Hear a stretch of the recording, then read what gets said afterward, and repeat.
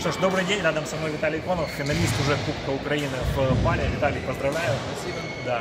Как ваш настрой на финальные встречи? Вот у вас серьезные соперники по 4 Траченко.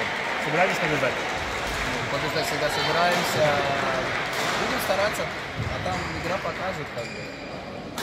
Соперник сильный, опытный. Мы тоже как бы не совсем, не совсем мальчики для битья. Ну, будем стараться.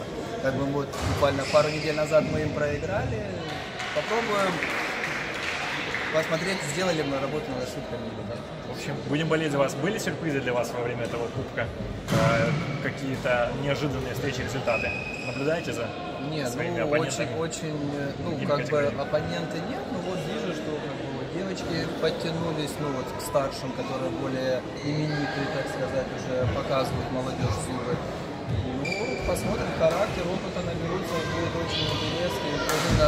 Женских категориях стало интересно. Мужские, как бы, большая у нас, к сожалению, такая яма между лидерами и там подтягивающимися. Ну, надеемся, это когда-то пройдет. Мария, Мария Улитина, Анастасия Прозорова. За кого болеете? Не могу сказать, что я за кого-то отдаю предпочтение, но мне кажется, Маша все-таки покажет, что она первая ракетка Украины. Хорошо. Все, Виталий, завтра вам удачи. Спасибо большое. До встречи.